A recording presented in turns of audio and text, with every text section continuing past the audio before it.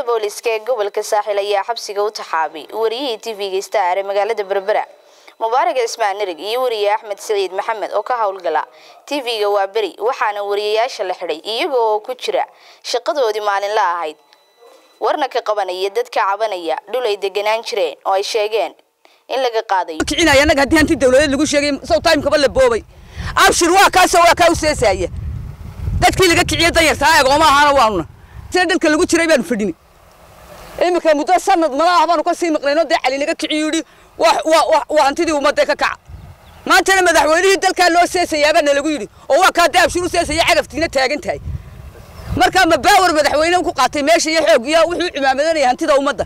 Wax ummaddii masaakiintii shicibkii maxaan wax ku daynayna.